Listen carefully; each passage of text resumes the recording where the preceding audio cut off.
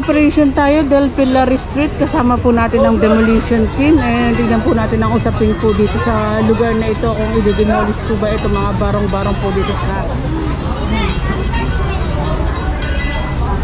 sa side na ito.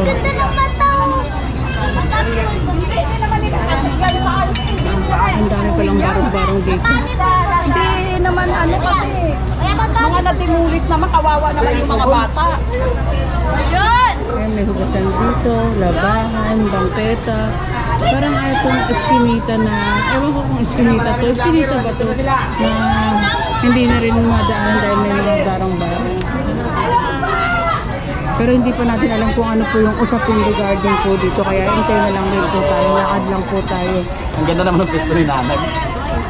Mama, Oh, bawain sa gilid dahil hindi natin. And no idea pa po tayo. Kaya magtatanong-tanong tayo. Ito.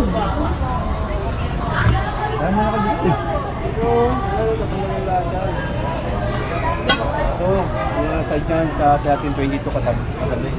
Saan natin ilalagay yan? Huwag lang idikit dito sa katabi. Pero yung ilalagay sa Tulungan na nga bangketa. natin. Hindi ko na, walang Tabi lang po, tabi na lang po.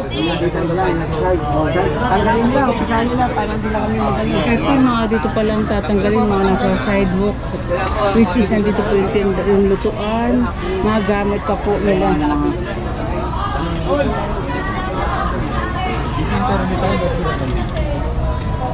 Tita, ang ganda ng mata. Hindi nangyari, hinahanin natin. Hindi po. Ano pa eto saan mo na kausap mo nila dito. Kasi na pa kaya lang po, patanggal na lang. Wala bang pwesto rin na pwede? Wala po. Pumayag si Gordon po na dito. Opo, may papel kami sir. May papel sila eh. Bigyan kami ng papel. Sinabi namin right side kami kasi sila attorney, hindi po papayag na. Kasi ato, ano, attorney ano dito. Umapasok po sa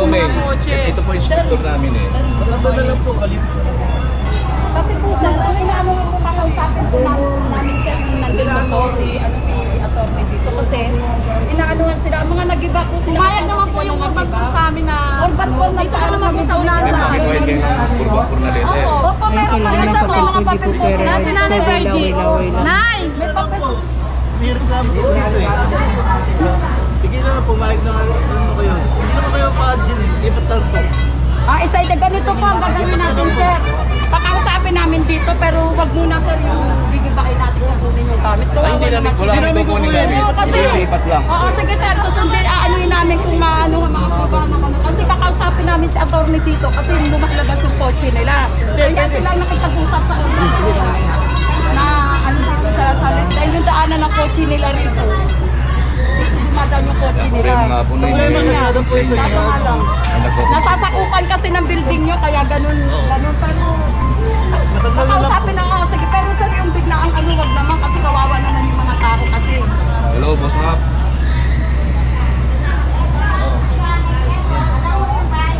Ang alam ko po, ito palang pinapaalis. Ang mangyayari niyan, kakauka po ma'am, kakausapin na lang natin na mailip, ilip na mailipat na din. reklamo, kailangan Oo. Sir, hindi naman po pwede biglaan nila. Eh, wala po kami magagawa kasi yun lang, Kailangan po Oo sir, nakausap na rin naman po namin yung pinakaano. Bigyan nyo lang kami muna ng palugit na para ma mailipat namin sa side dito yung ano. Hindi naman natin pwedeng obligahin na big biglaan na kukunin ang gamit. Huwag naman. yun Galing kami sa galing sa demoli sila eh. Opo. Opo. Matagal na po, 15 years na po kami naninirahan dito. 10 Opo. years, Opo. pero sabi niyo po galing sa demolish sila, ma'am. Demolish po dyan po sa loob. Ngayon galing lang po ba? demolish. Ngayon po ba yung dinimolish? Lahat ng ano po rito, lahat ng mga nandito galing sa demolition yan. Opo Kailan po ma'am. yung dinimolish, ma'am?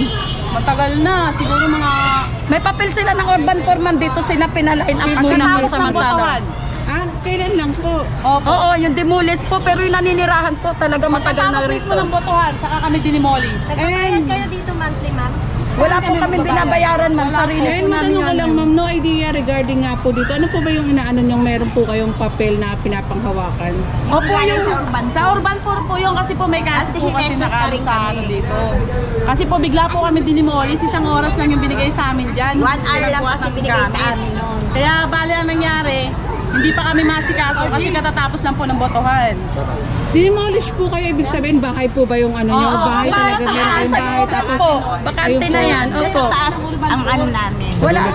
Oo, yung dulo neto, yung Nandun sa bakante na yan. barangay po, meron kaming urban May po sa ang ibig barangay. sabihin, ayun pala, ibig, ibig sabihin, 15 years na po kayo sa lugar na ito, then dinemolish. Higit Kamukha pa, namin, higit 20 years na pa. ako.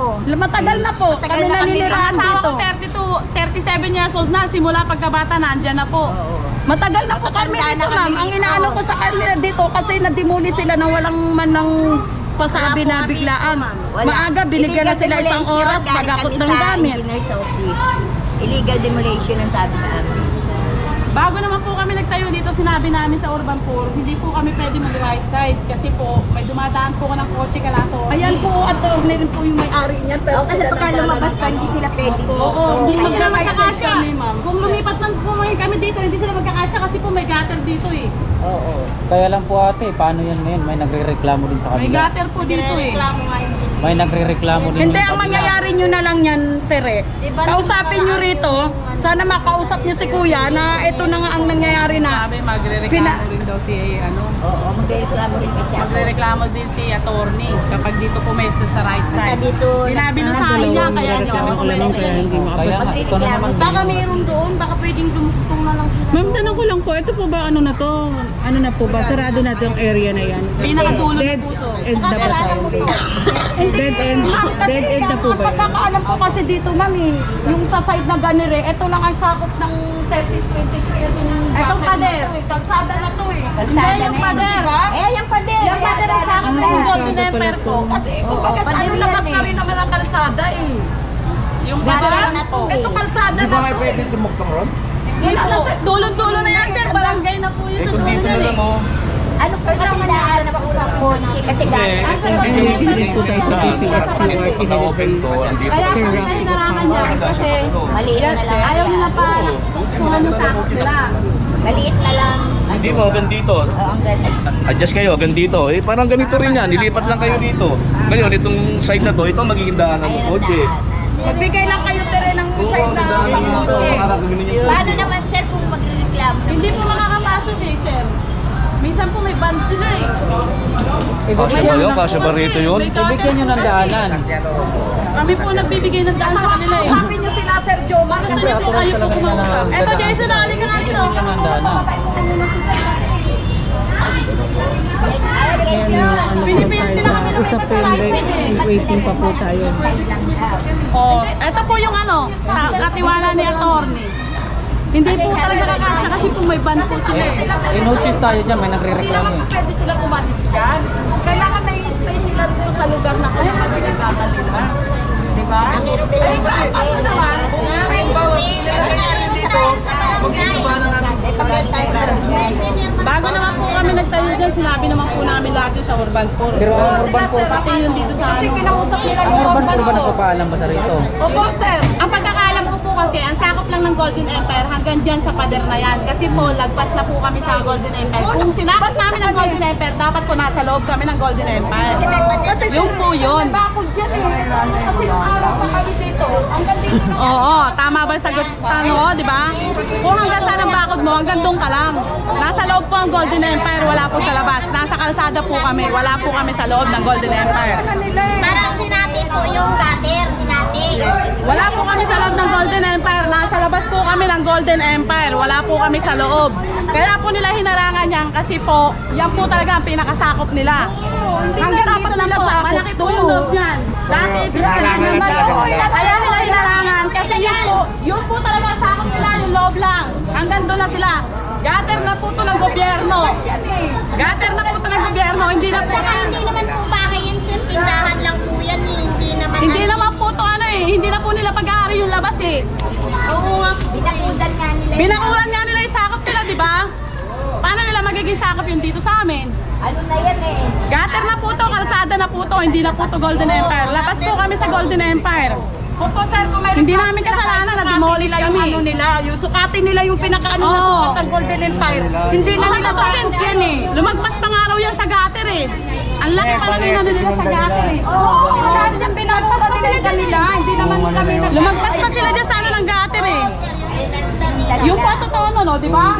Ang pag-aari po nila hanggang loob lang, hindi kasama labas. Kawawa naman yung tao na... Wala naman kami pagpwestuhan. Saan kami pagpwesto? May dumadaan ng kotse kala attorney. Huwag naman ganun. Huwag naman ganun. Makasama naman. Hindi naman yung lahat Hindi naman bahayan kasi na-demolis nga. Inaantay lang po ang desisyon dito.